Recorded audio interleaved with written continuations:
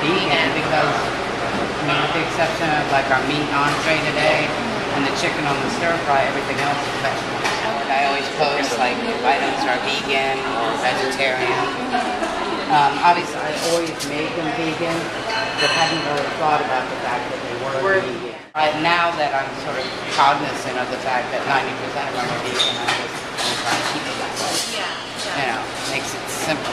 But I also do the uh, tortilla crisp and Like, It doesn't matter if a food is vegetarian, vegan, low fat, low cholesterol, low sodium. If it doesn't taste good, people are not going to eat it. Even if they want to eat. We had some focus tastings um, on several days, and one of them was related to vegetarian. And it was difficult to get them to try it, even taste it, and it was free. Okay?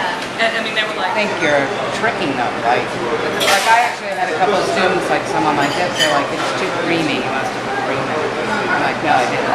It's just the lentils. When you grind them up, that's the texture. But we're, we try to also be very transparent. I mean, if, if a student wants to see a product, if they want to come back to the kitchen, if they want to see our pantries. In fact, Lydia and I last year did a program in this hall where we did behind the scenes tour with Bon Appetit. And so we did some cooking demonstrations showing them how we make some of these dips. Um, because we had several students assume we buy this stuff.